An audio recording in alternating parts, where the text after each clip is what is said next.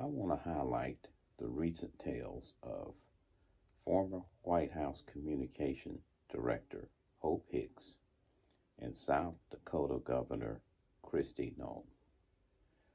Both of these individuals, I believe, felt that their white privilege would protect them from criticism and reputation damage.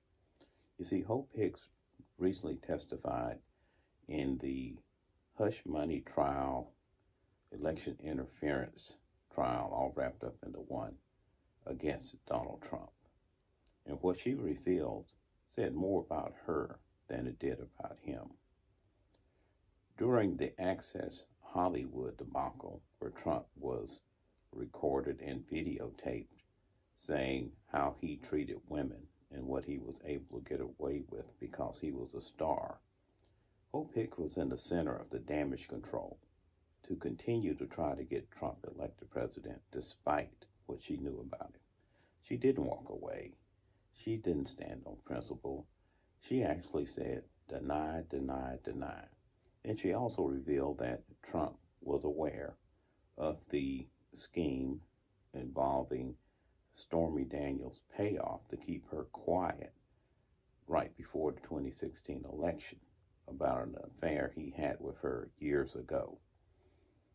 And, you know, she didn't walk away. She was there when January 6th happened because she had returned to the White House as some sort of a counselor to the president she didn't seem to put a whole lot of effort into getting him to stop the carnage that was taking place when his supporters attacked the United States Capitol.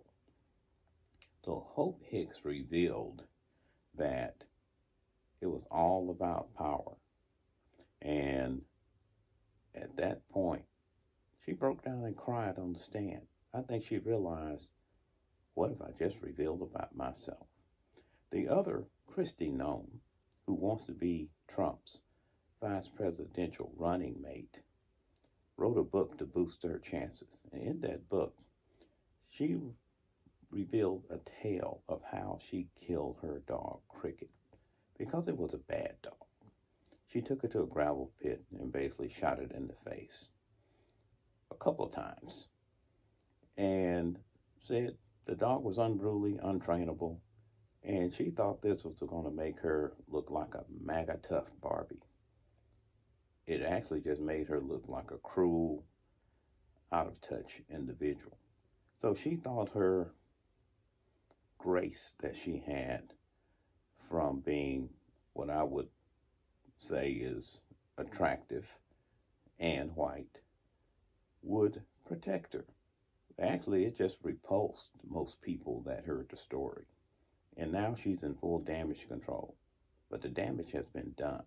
Not only will she not be Trump's running mate, she may be done with politics, period, because of the backlash.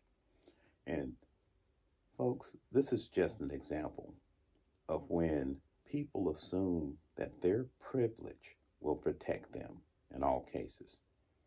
But that's not true. And these two just found out.